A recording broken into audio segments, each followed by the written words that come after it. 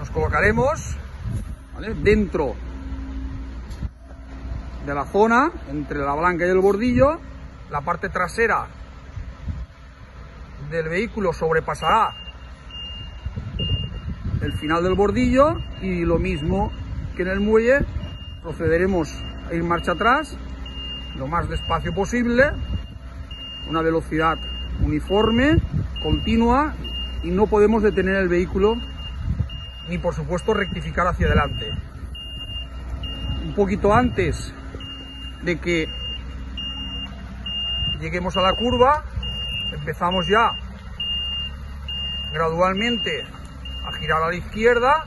Como vemos, la parte, las ruedas de la parte trasera siempre tienen que ir por dentro de la línea blanca y el bordillo, aunque la rueda delantera por supuesto se sale, eso no hay problema. Que en todo momento las dos ruedas traseras del vehículo han ido por dentro, el bordillo ni lo podemos tocar ni por supuesto forzar. Cuando la rueda trasera llegue al final de la línea, nos detenemos. Y ahí esperamos a que el examinador nos dé la orden para poder salir de esta maniobra.